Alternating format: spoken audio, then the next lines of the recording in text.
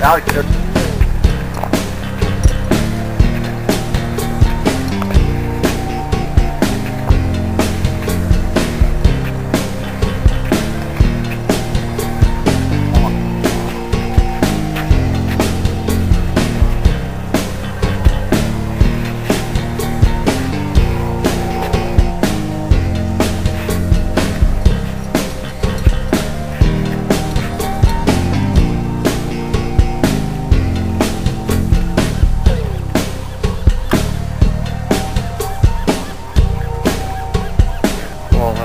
saw there was a little fish playing